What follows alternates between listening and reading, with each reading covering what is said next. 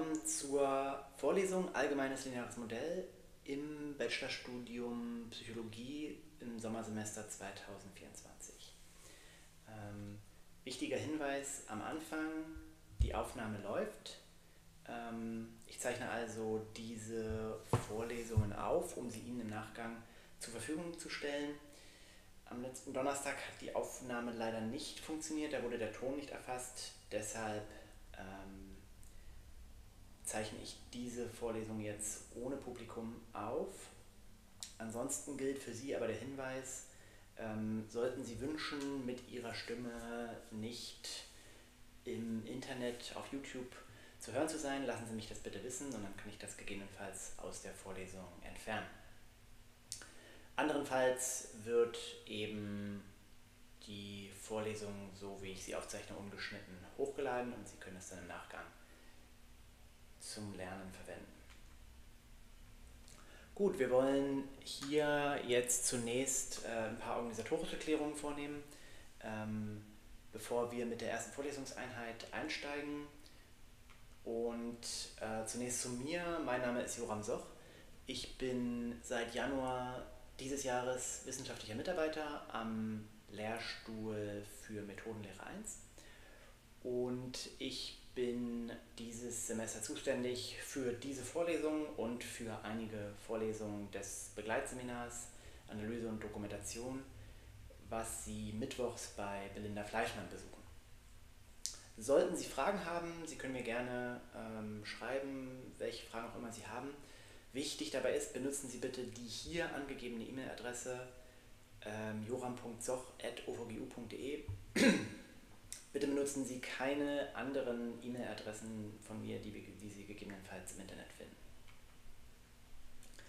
Gut, dann, wo sind wir hier genau? Das ist also die Vorlesung Allgemeines lineares Modell und das äh, ist im Modulhandbuch das Modul B2 und läuft dort unter dem Titel Inferenzstatistik. Ähm, Sie haben vielleicht schon mitbekommen, dass das Modulhandbuch gerade überarbeitet wird ähm, hin zu einer etwas äh, moderneren Einteilung der Lehre von Statistik für Psychologen. Und früher hieß das Deskriptivstatistik und Inferenzstatistik. Bei uns heißt das eben Wahrscheinlichkeitstheorie, frequentistische Inferenz und allgemeines lineares Modell. Äh, die Vorlesung wird donnerstags stattfinden, 13 bis 15 Uhr jede Woche und in geraden Kalenderwochen zusätzlich von 15 bis 17 Uhr. Das hat folgenden Hintergrund. Diese Veranstaltung ist auf dem Papier eine drei Semesterwochenstunden Veranstaltung und wir haben uns das so überlegt, bei der ähm, Lehrplan- oder bei der Stundenplanabstimmung in den Semesterferien, dass wir diese Vorlesung auf Donnerstag 13 Uhr legen und dass es dann äh, jede zweite Woche eine zusätzliche Sitzung gibt, sodass wir im Durchschnitt 1,5 Sitzungen pro Woche von dieser Vorlesung haben. Ja, alle Kursmaterialien, das heißt diese Folien und diese Videos und ein Vorlesungsskript, zu dem ich gleich noch was sagen werde, finden Sie auf der Kurswebseite. Die Kurswebseite ist eine Unterwebseite äh, von unserer unserer Lehrstuhl-Homepage. Also gehen Sie einfach auf Professor Ostwald, Methodenlehre 1, dann Lehre, Sommersemester 2024 und allgemeines lineares Modell. Dort finden Sie das alles. Es gibt auch eine Moodle-Seite zu diesem Kurs, die benutzen wir allerdings nur für Ankündigungen. Äh, das heißt, wenn es Terminänderungen im Semester geben sollte und natürlich für die Klausur. Es wird eine Klausur geschrieben am Ende dieses Kurses. Diese Klausur wird aus 30 Fragen bestehen. Jede Frage ist eine Multiple-Choice-Frage. Jede dieser Multiple-Choice-Fragen hat vier Antwortmöglichkeiten und von diesen vier Antwortmöglichkeiten ist genau eine Antwort richtig. Diese Klausur schreiben wir am Ende des Sommersemesters und sollten Sie die Klausur nicht bestehen, dann wird es einen Wiederholungstermin für Sie in den Semesterferien des kommenden Semesters geben. Termin und Ort der Klausur finden Sie dann rechtzeitig auf der Webseite des Prüfungsamts der FNE, wird aber wie gesagt auch über die Moodle-Seite bekannt gegeben. Ja, hier haben wir jetzt den Semesterplan, das heißt also die Vorlesungseinheiten, die uns dieses Semester erwarten. Ich habe mir die Materialien äh, einmal angesehen äh, und so gemäß ihrem ungefähren Umfang auf die Sitzung verteilt. Ähm, es ist durchaus möglich, dass wir von der zweiten Sitzung, ähm, also donnerstags 15 bis 17 Uhr, alle jede in den geraden Kalenderwochen, ähm, dass wir da nicht die gesamte Zeit benötigen werden. Es könnte also sein, dass wir dann da auch mal nach 60 oder 45 Minuten fertig sind. Das kann ich jetzt aber noch nicht genau sagen, weil ich diese Vorlesung gerade zum ersten Mal gebe. Ähm, zur Strukturierung der Vorlesung in Grundlagen, Theorie und Anwendung werde ich gleich zu Beginn der ersten Einheit noch was sagen. Hier haben Sie jetzt dasselbe nochmal in einer anderen Darstellung äh, und mit den Sitzungen des Seminars Analyse und Dokumentation zusätzlich. Ähm, also wir haben hier links die ähm, Wochen, in der Mitte die Sitzung dieser Vorlesung und rechts äh, die Sitzung des Seminars. Die Farbgebung steht für die Lehrpersonen, das heißt also, dass ich mir diese Veranstaltung mit Belinda Fleischmann teile. Die Sitzungen in Orange werden von mir gegeben und die Sitzungen in Grün werden von Frau Fleischmann betreut.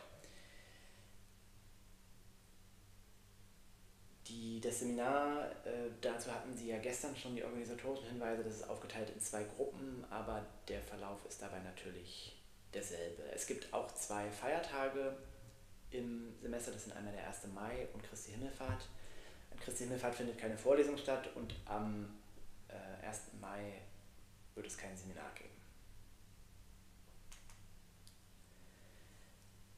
Hier haben Sie einmal die Übersicht der Themenkomplexe, die laut Modulhandbuch des Studiengangs ähm, in diesen Veranstaltungen vermittelt werden sollen.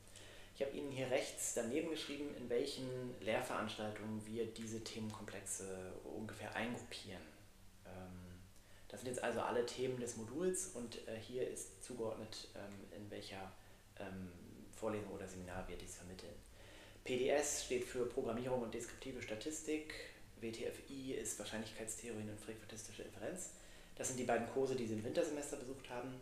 ALM ist allgemeines lineares Modell AD ist Analyse und Dokumentation.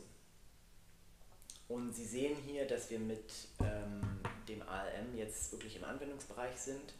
Das heißt, äh, wir werden dieses Semester sehen, wie die Grundlagen zur Wahrscheinlichkeitstheorie, die Sie sich letztes, im letzten Wintersemester erarbeitet haben, wie die jetzt nutzbar gemacht werden können zur Prüfung von Unterschiedshypothesen, von Zusammenhangshypothesen, für multiple lineare Regression, Varianzanalyse, Kovarianzanalyse und dergleichen mehr. Gut, dann zu der Frage, was ist klausurrelevant? Ähm, die Vorlesungsfolien inklusive der Selbstkontrollfragen sind klausurrelevant. Das Vorlesungsskript ist nicht klausurrelevant, aber hilfreich beim Lernen. Ähm, das Vorlesungsskript ist quasi eine Verschriftlichung dieser Vorlesungsfolien mit noch mehr ähm, Erklärungen und Erläuterungen drumherum. Und das hat Professor Ostwald für den Kurs letztes Jahr geschrieben. Ich bin gerade dabei, das zu überarbeiten und werde Ihnen das dann im Laufe des Semesters zur Verfügung stellen. Der Kurs wurde natürlich in früheren Jahren auch schon mal gegeben und wenn Sie auf unserer Lehrstuhl-Homepage in die ähm, Kurs, Kurswebseiten der früheren Jahre schauen, äh, finden Sie dort auch Altklausuren. Das heißt, Sie können sich da ähm, so ein bisschen orientieren, äh, welche Dinge wurden in den letzten Jahren abgefragt, was war jeweils wichtig und wenn Sie ähm, zur Probe mal diese Altklausuren durcharbeiten ähm, und bestehen, dann sind Sie definitiv auch dieses Jahr gut vorbereitet. Hier ist noch eine Liste von weiterführender Literatur. Generell sollten Sie natürlich ähm, immer bereit sein, in Lehrbücher reinzuschauen. Für die Zwecke dieses Kurses reicht es aber aus, wenn Sie sich mit dem Vorlesungsskript begnügen, da das eben eine sehr genaue äh, Begleitliteratur ist. An der Stelle habe ich Ihnen hier nochmal die Evaluation des Kurses aus dem letzten Jahr reingepackt. Also wir haben hier allgemeines Modell, Sommersemester 23. 70 Studierende haben diesen Fragebogen beantwortet. Und ja, also die Evaluation ist im Grunde gut ausgefallen. Der Kurs wird als äh, gut strukturiert ähm, und gut vorbereitet beurteilt. Äh, die Klausur war nicht zu schwer, zumindest letztes Jahr. Und ähm, das ist also eigentlich sehr ermutigend. Äh, was äh, wir jetzt häufig beobachten, ist, dass halt auf diese erste Frage und die Fragen hier oben, ähm, ich interessiere mich für das Thema des Kurses, also dass die Hälfte der Studenten damit Nein antworten und nur ein Drittel der Studierenden das bejaht. Es ist immer ein bisschen schwierig zu sagen, wo das, also was das genau bedeutet, wenn es heißt, dass ähm, sie Mathe nicht mögen oder dass sie Statistik schwer finden, dann ist das natürlich legitim. Das ist ja auch so, dass es nicht jedem gleich leicht oder gleich schwer fällt. Ähm, es sollte natürlich nicht heißen, dass sie ähm, nicht daran interessiert sind, wie man auf wissenschaftliche Art und Weise zu evidenzbasierten Aussagen. Und das ist ja letztendlich das, was wir ähm, hier in den Statistik-Lehrveranstaltungen Ihnen vermitteln wollen. Ähm, es ist allerdings so, dass die meisten, auch wenn sie sich nicht für das Thema des Kurses interessieren, Datenanalyse für ein wichtiges Thema in der Psychologie halten. Und das ist ja dann doch sehr ermutigend. Das hier ist die Evolution aus dem Wintersemester, ähm, also Wahrscheinlichkeitstheorie und frequentistische Inferenz, Wintersemester 23, 24. 49 Studierende haben hier den Fragebogen beantwortet und die Evaluation fällt hier sehr ähnlich aus. Die, ähm, der Kurs ist gut vorbereitet, die Vorlesung ist verständlich, ähm, es gibt ausreichend Gelegenheit für Fragen, das Niveau der Klausur ist angemessen. Wir haben hier oben natürlich wieder diese etwas demotivierende, etwas demotivierenden Befund, dass sich nicht alle für das Thema des Kurses so stark interessieren. Und ähm, ja, also letztendlich ähm, muss man damit leben, aber Datenanalyse ist natürlich trotzdem wichtig. Sie wissen ja, oder Sie haben ja wahrscheinlich schon bemerkt, dass wir hier am Lehrstuhl den Anspruch haben, Ihnen Statistik nicht, wie das in der Psychologie sonst üblich ist, so in Form von Backrezepten beizubringen, die Sie dann nachschlagen können, ohne aber äh, zu wissen, was es genau bedeutet, was Sie da eigentlich tun, sondern dass wir Statistik von Grund auf lehren wollen, ähm, sodass Sie auch die mathematischen Grundlagen verstehen. Das hat den Nachteil, dass es natürlich schwieriger ist, mehr Zeit erfordert, mehr Detail, mehr Tiefe ähm, auf der anderen Seite können Sie dann vielleicht auch für sich in Anspruch nehmen, ähm, ein gutes, grundlegendes, fundiertes Verständnis von statistischer Analyse zu haben, wenn Sie unsere Lehrveranstaltung erfolgreich abgeschlossen haben.